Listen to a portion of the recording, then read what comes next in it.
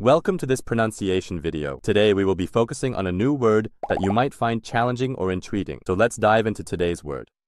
입은 거야, which means I wear it in Korean. let's say it all together. 입은 거야. 입은 거야. 입은 거야. One more time. 입은 거야. 입은 거야. 입은 거야. Thank you for joining us on this adventure in pronunciation. Remember, language is a journey, not a destination. Keep exploring, experimenting, and expanding your linguistic horizons. We'll see you next time.